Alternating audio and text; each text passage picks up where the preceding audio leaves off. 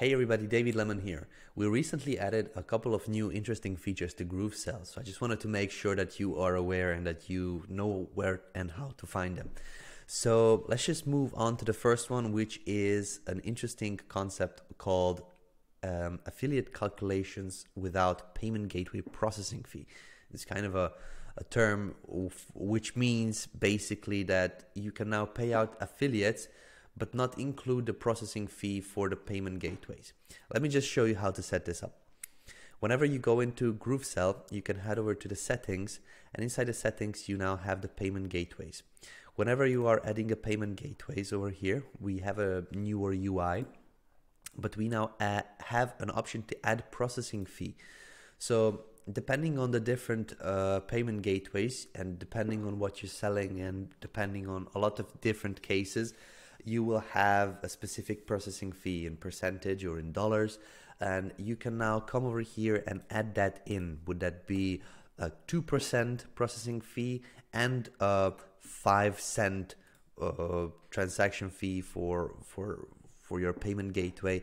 Then you can set this up whether you're using GroovePay, whether you're using Stripe, whether you're using PayPal or the others, you can find the actual um, processing fee and how much they charge through uh, through their pricing uh, pricing pages or just log in and then look around. You'll probably see um, inside your transaction they will mention how much is the processing fee for each transaction. So you will be having the information. You can populate that. Once you populated that make sure you save and then you can come over to your product funnels. For example let's just go into this demo funnel.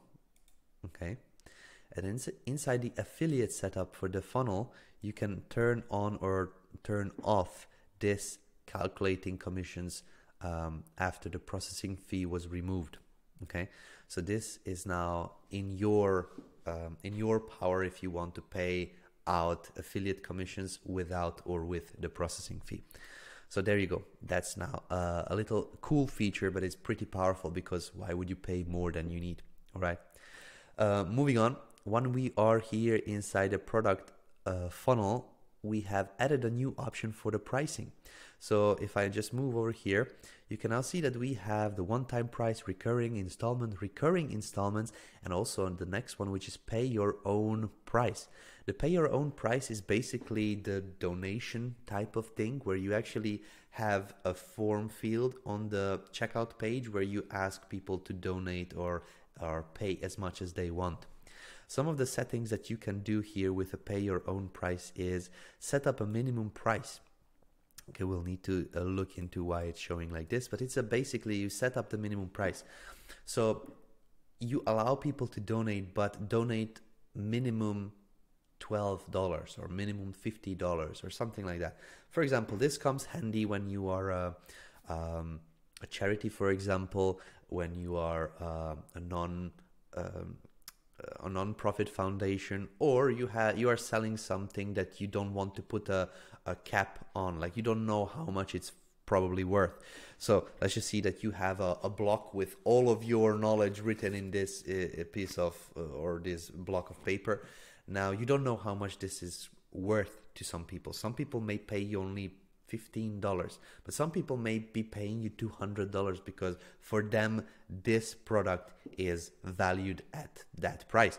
So this actually allows you to to have for one product receive in certain cases $15 in certain cases many many more dollars than that. So you can set up the the minimum amount make sure you save. And now I'm just going to go over to a checkout page and show you how that looks like. Give me just one moment. All right, here we are on the actual checkout page, which has the the choose your own price. And as you can see here, we have the choose your own price at $15, but we also added a little form field below that you can actually specify if a visitor or customer wants to pay more, they can actually type in their price and that's going to automatically change over here. So once they go through the checkout, that's the price they will pay for your product, which is pretty cool. Moving on, we have a new, very, very cool feature for testing purchases of your product, and that's a test mode. So if you go into one of your uh, your uh, product funnels, each and every product that you have can have its own test mode enabled, which means that you can turn on test mode on the product itself. Okay, so you click these three dots, enable test mode. It will be a, uh, prompting you if you're sure, um, which means that all of the transactions will be removed after one hour. So you can test as many things that you want. Primarily this is very good for testing webhooks or integrations or something like that and not leave the transactions in there. This this also means that this is not a payment test mode. So it's not going to be allowing you to test the payment options because what it actually does it's skipping the payment step let me just turn it on on here and let me show you what it does so you can see that I enabled test mode on this particular product so I'm going to reload this uh, checkout. And over here, it says immediately get free access. Previously, it was not saying that. Let me just revert back and let me show you. So disable test mode. And if I reload this checkout, it's actually making us pay. So making us put in the payment information and also the credit card details and complete purchase. But once we turn on the test mode, it's actually not allowing us to test the payment. It's testing everything else. Webhooks, sending the information, uh, looking through the transactions and things like that uh, on, on how to track the product. Um, but the payment step is being skipped. So a lot of people uh, that are watching this will be very happy because this means that webhooks can be tested much more fluently, much more faster than previously was, and also means that every transaction that goes through here will be automatically removed by from the GrooveSell reporting uh, because this is in the test mode. Now, at this moment, uh, you would need to turn on all of the products to, uh, to test all of them. You can also do that on the upsells, downsells, and all the other products, which means that the payment step will be skipped, but you can still test the webhooks on the on the test mode. So these are the three major things that we added into GrooveSell. Hopefully you like it. Hopefully you are um, you're seeing already how you can use it inside your business. And in case you do have any questions, feel free to ask us in the comments below or through the support. So support.groovedigital.com. Until the next time, see you later. Bye bye.